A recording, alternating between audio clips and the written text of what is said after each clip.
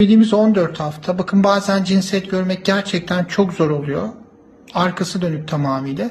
Mutlaka bizim iki bacak arasını bulmamız gerekiyor. Bakın bir bacağımız burada, diğer bacağımız burada. Üç tane çizgimiz var. Kız bebeğimiz gebeliğimizde her şey yolunda.